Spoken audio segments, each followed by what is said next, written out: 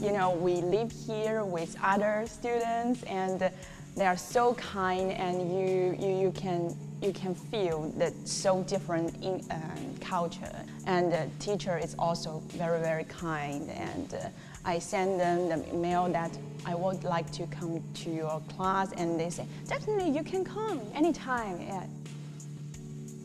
There's all the resources for you to maneuver your practice and, and what you want to do um, but you have to gauge with it you know you have to kind of make that commitment to do it and so I think it's quite different than America where the institution kind of drives what you're doing, whereas here the institution's a little more on your side, kind of next to you in the process instead of over you.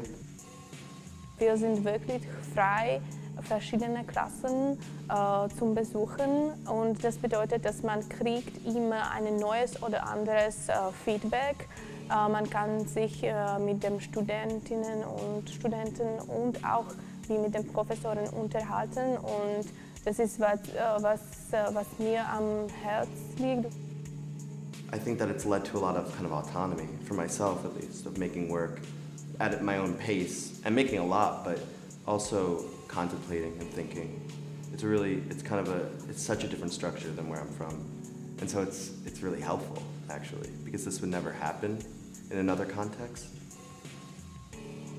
Actually, it's the last year for my uh, master's degree, and uh, I think uh, it will be a really good opportunity for me to explore my, my horizon.